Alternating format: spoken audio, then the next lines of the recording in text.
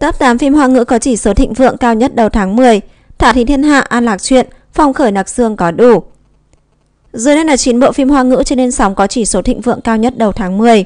Thứ nhất Trọng Tử, diễn viên Dương Siêu Việt từ Chính Khê, chỉ số thịnh vượng 0,467.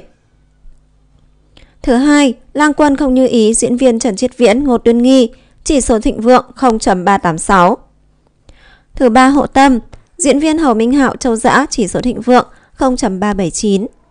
Thứ tư, Thả Thị Thiên Hạ, diễn viên Dương Sương, Triệu Lộ Tư, chỉ số thịnh vượng 0.317.